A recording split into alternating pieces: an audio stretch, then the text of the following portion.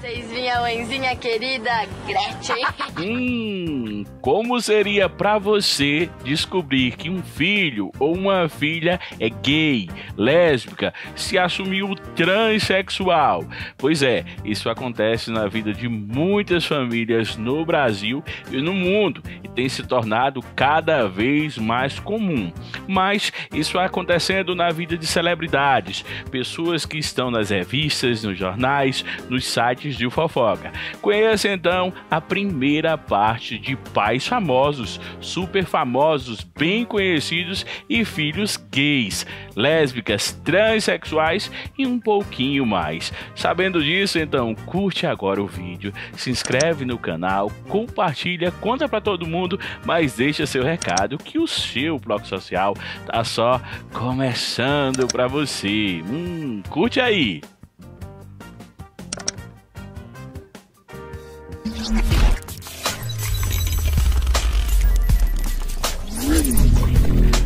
Oi, gente, e aí, tudo bom? Claro que você conhece Marília Gabriela, uma das maiores apresentadoras do Brasil e por que não do mundo. Ela já passou pela Globo, pelo SBT, por vários outros canais. É mãe do Teodoro Cochrane ou Teodoro Cochrane, ele que é ator super famoso, fez trabalhos na Record e também na TV Globo. Ele falou até sobre um possível namoro entre ele e Reinaldo Gianecchini. Teve muitos boatos. Confere aí.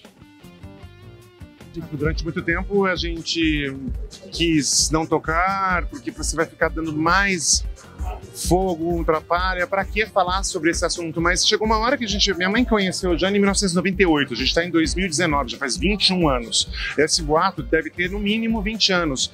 E me enchia muito o saco porque me ofendia, ofendia a minha mãe principalmente, ofendia o meu padrasto na época, ofendia até meu irmão, porque era uma coisa tão surreal, as pessoas preferiam aceitar num, num esquema sórdido, de onde a minha mãe assumiria um, um relacionamento com o Gianni para ele poder ter comigo e eu uma, uma história de amor e eu é, desenvolver uma história de estrelado. Que história de estrelado, gente? Quantos galãs que eu, que eu fiz, quantas é, novelas eu fiz agora que eu estou começando a ter um papel um pouco mais de destaque quem vai, em sã consciência, uma mulher inteligente, bonita, bem-sucedida como minha mãe, as pessoas preferem aceitar que o galã da novela das nove é gay e namorar uma mulher mais velha e maravilhosa. As pessoas são muito preconceituosas, infelizmente, nesse nosso país. Vinham, mãezinha querida Gretchen. Hum, claro que você conhece a Gretchen. A rainha do rebolado surgiu para o Brasil e por que não para o mundo lá no início dos anos 1980. Teve vários hits, piripiri, chique bumba, entre vários outros. Esses anos, nos últimos anos, ela se tornou a rainha dos memes no Brasil e por que não no mundo. Lá no início dos anos 2000, Gretchen trouxe para a gente para conhecer a Tami, que então nessa época era só rebolado, só gingado e já era jogadora do São Paulo. Muita coisa mudou. Mesmo assim a gente trouxe a Tami como era lá antes, nos anos 2000. Confere aí um pouquinho. Trabalha junto há três anos. Ela era jogadora de futebol do São Paulo. Ia para a seleção quando ela disse para mim que não queria mais jogar bola e disse que queria que eu desse uma oportunidade para ela dançar, que ela sabia dançar. Primeiro eu fiz uma escola, fiquei atrás dela, aprendi bastante, três anos de escola e agora eu me formei. Se existe hoje as popozudas, as preparadas e toda essa história de funk, foi porque eu comecei com a história de rebolar o bumbum. E a Tami, era preparada ou popozuda? Ah, preparada. É a mulher que já tá preparada para receber esses homens que estão chamando a gente de cachorra, de potranca. A gente não é cachorra nem potranca, a gente tem que ser bem tratada, a gente é preparada. preparada a gente já tá pronta para esses homens, eles que são E cachorrão. como é ser filha? Filha da Gretchen, nessa época, claro. Meninos de escola, ah, sua mãe, você quer, gostosona. Eu sempre arranjava briga. Todo final, toda semana, sexta-feira, ela tava na minha escola para assinar uma advertência. De lá para cá, todo mundo sabe que muita coisa mudou na vida do Tami. Ele foi mudando o corpo, sempre um passo a cada momento, e o Brasil foi se acostumando. Muita gente foi aceitando e hoje ele é pai do Tami. É casado com a Andressa Ferreira, que é modelo e tem milhões de seguidores nas redes sociais. Claro, a ainda tem quem critica o filho da Gretchen. Mas e você? Você aceitaria um filho trans? Muita gente, muita gente religiosa não aceita e eu trouxe um desabafo do Tami Miranda para você. Confere aí, diz seu comentário. Eu tenho só uma simples lição para ensinar para o nosso ministro da Educação. Homossexualidade não é desajuste. Homofobia e preconceito, sim. Ministro, se eduque. Homofobia é crime desajustado é esse governo que o senhor faz parte. Mais amor e menos ódio, por favor.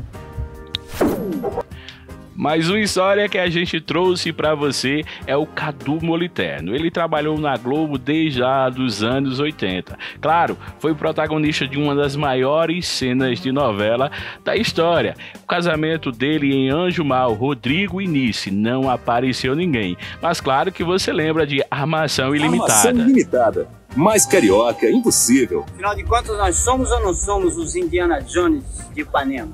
Não somos, não. Pois é, na época de Juba e Lula ele nem sonhava, nem pensava em trabalhar na Record. Pois é, ele foi trabalhar na Record, continua brilhando na TV, até bombou nos últimos tempos após se casar com alguém mais jovem.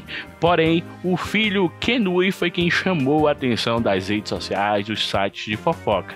Kenui é youtuber e gay. Hoje mora lá nos Estados Unidos, é militante LGBT, se exportou, foi para lá para outro país e continua levantando a bandeira. Cadu Moliterno sempre aceitou o filho do jeito que ele é, feliz da vida. E aí, você aceitaria sim ou não? Invente, faça 92 diferente. Bom, de 92 para cá mudou muita coisa na vida do Alexandre Frota. Ele se tornou deputado federal brasileiro e até hoje não aceita muito bem o filho, o filho Cauã Frota, que hoje faz muito sucesso, principalmente nos sites gays, GLS, de venda de filmes. Muita gente não sabe ao certo se ele é gay, se ele é bissexual, se ele é alguma outra coisa. Porém, o rapaz é super admirado, principalmente pelos homens gays. E aí, será que um dia Alexandre Frota vai aceitar o filho do jeito que ele é?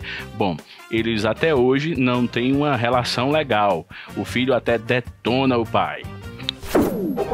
E aí, tá lembrado do Wagner Montes, jurado do show de calouros? Tá sabendo que ele era casado com a Sônia Lima? Isso é, eles eram casados desde os anos 80 e fizeram parte da vida de muita gente lá no programa Silvio Santos do SBT. Infelizmente, o Wagner Montes partiu em janeiro de 2019, deixando muita saudade e também deixando um filho que ele apresentou no programa Silvio Santos antes, o Diego Cortez. Esse filho cresceu, mas olha aí. Isso e foi para mim. Eu vi que saco, saco, você me acha o saco, você me acha o saco e você não me conhece. O Diego Cortez estreou numa novela da Record, Rebelde. Logo foi pra Globo. Mas, mesmo se assumindo gay, o pai e a mãe nunca, nunca lhe faltaram amor nem carinho. E Diego retribuiu. Ele tem muito uma energia próxima da do meu pai. Então, assim, é muito emocionante ler uma novela que chegou num momento como esse. É, e é uma coisa que eu fico muito feliz, assim, de, de poder estar fazendo, porque era uma vontade que ele tinha muito grande de me ver, né, na, na casa. Então eu acho que, de certa forma, o Cosmo foi ajudando tudo, sabe? Ela tá amando, vai ser a primeira a assistir a novela, vai estar na ponta do sofá. Diego Montes nunca ficou sem amor. Wagner Montes e Sônia Lima sempre estavam ali orgulhosos do filho que deixaram na vida.